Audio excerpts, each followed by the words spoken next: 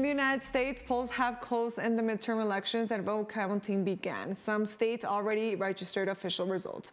Voters went to the polls to renew 35 seats in the Senate, 435 seats in the House of Representatives, as well as 36 governors and mayors. So far, Maryland elected Democrat Wes Moore as governor, putting an African American into the governor's mansion for the first time.